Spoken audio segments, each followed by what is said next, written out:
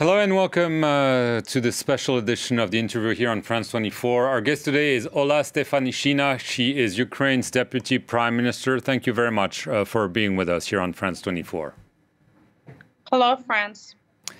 I want to begin uh, with the situation in the port city of uh, Mariupol. Uh, the city council announced that a children hospitals had been destroyed by uh, Russian strikes. Uh, can you confirm this information? And if so, what do you know about this?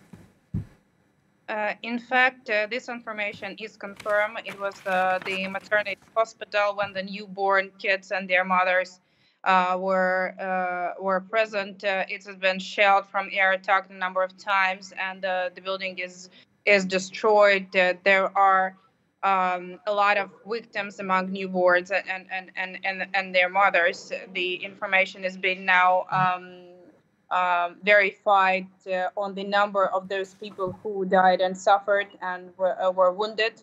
Uh, in fact, uh, this has been taking place on the third day where Ukraine were trying to arrange with Russia through the uh, International Red Cross organization on the humanitarian corridors for evacuation of population.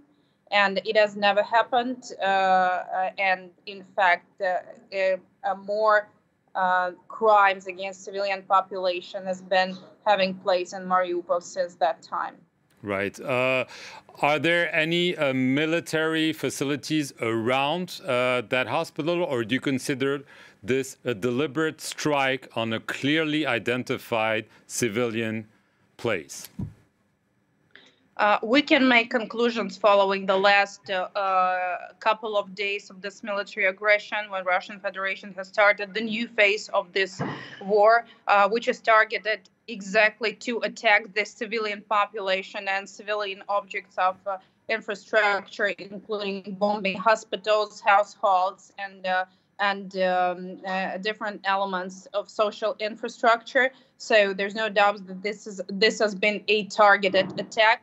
Uh, uh, in fact, over these days, more than 50 children has died from different uh, from different aggressive military actions of Russian Federation. We understand that this is part of the Russian plan to uh, um, to um, to uh, ensure that the people are afraid uh, uh, afraid they have the fear the panic and we are doing our best to ensure that the people could be evacuated to the safe part of the territory of Ukraine and they could be refrained from this aggressive terroristic actions of mm-hmm. Russian Federation.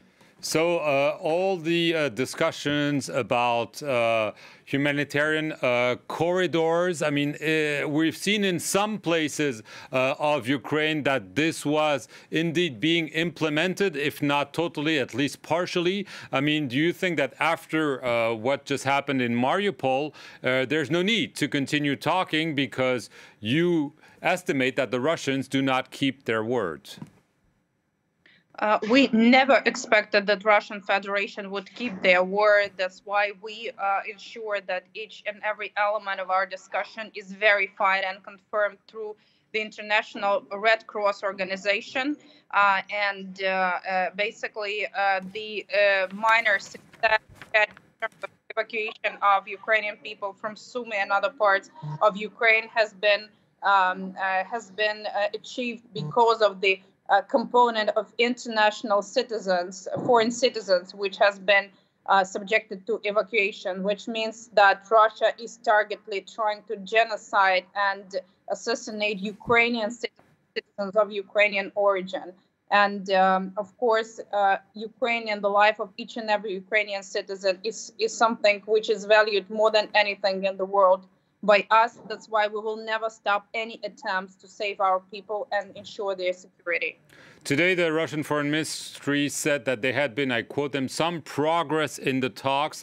Uh, this Thursday, your Foreign Minister, Dmytro Kuleba, is scheduled to meet with his Russian counterpart, Sergei Lavrov, uh, in Turkey. Uh, given uh, what you're describing on the ground, do you have any hope that the diplomatic path can still be successful? Uh, we uh, have, of course, rather limited expectations from this meeting, but uh, from as I've mentioned just before, we will use each and every opportunity which would be available to us to ensure that there is a negotiation, a ceasefire, and withdrawal of Russian troops of from Ukrainian territory are becoming possible. Uh, definitely, we will not go into any discussions which would serve the goal of legitimization of any actions taken on the territory of Ukraine and le- legitimization of the tyrannic and terroristic acts happening now in our country. Your president, Volodymyr Zelensky, uh, said this Wednesday that the international community would be responsible for, I quote him, a mass humanitarian catastrophe if it did not agree to a no fly zone to protect Ukraine. We know this no fly zone has been refused again and again by the US, by NATO, by most European uh, countries. Do you think that this is really the only solution to stop the Russian aggression, or are you considering other means? Uh, well, first of all, of course, we're talking about uh, no-fly zone as a humanitarian measure which should be taken, and we still have hope that UN system can take this measure, and we severely advocate for that. Uh, from our perspective, thinking uh, of the consequences of taking this action is less important than understanding what are the consequences of not taking this action. Uh, uh, since since the discussion has been there since the war started. More than 2,000 of Ukrainian citizens have fallen, and there are numerous numerous cases of people who died from air attacks, including today's attack on the maternity hospital and many other hospitals around Ukraine.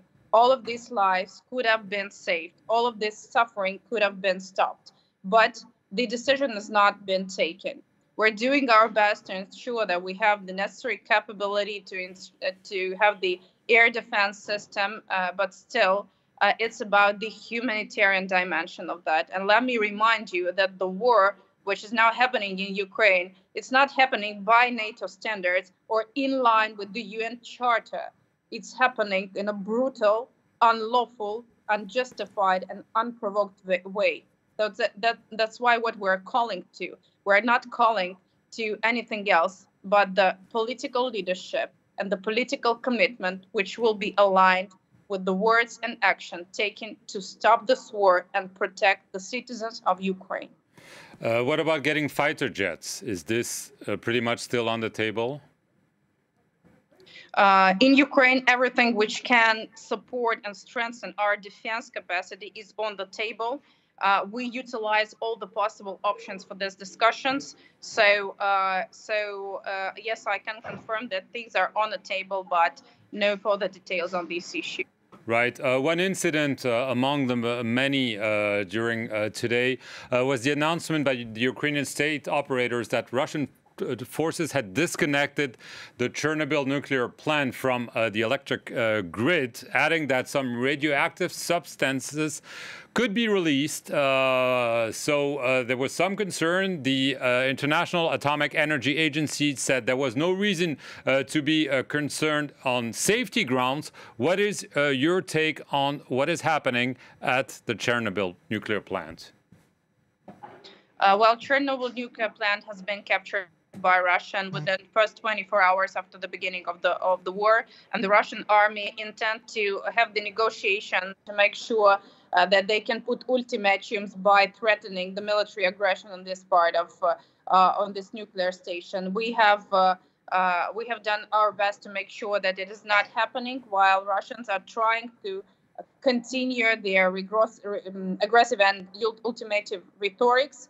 Uh, we managed to uh, do our job distantly to switch back um, our Chernobyl station from uh, uh, with the, with the electricity. Although the consequences of not succeeding that from Ukrainian side would lead that for uh, the next 48 hours, the ventilation system of the um, uh, of the Chernobyl shelter will stop working, and the level of radiation would spread with an uncontrolled manner around the territory of Europe.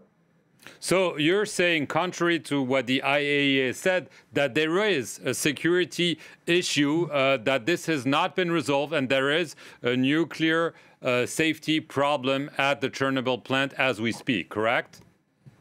Just a half an hour ago, I received the information that it was temporarily resolved, but we are not uh, insured uh, or protected from any other assassinations or attacks uh, which can be taken by Russian side. So we have uh, uh, reached the, the MAGATE and Euratom with immediate request to uh, hold some measures to ensure the security of all the nuclear objects around Ukraine and to ensure that they are under control and monitoring of these international organizations. Just uh, as a conclusion, do you think this is accidental or intentional? Uh, as I've said, within the last, within the first 24 hours after the Chernobyl station has been captured, we have been by Russian army officers putting us ultimatums. So they're doing this job or implementing the orders, and they're uh, using this as another instrument of aggression, uh, trying to, um, let's say, promote the agenda that Ukraine is a is a, is a nuclear state, but it's not posing this threat. We've been saving the world from this threat for uh, the last 35 years after Chernobyl.